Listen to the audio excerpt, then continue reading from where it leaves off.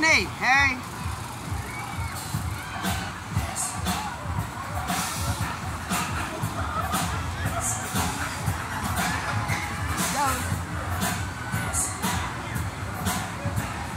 Hold your, hold your stomach tight.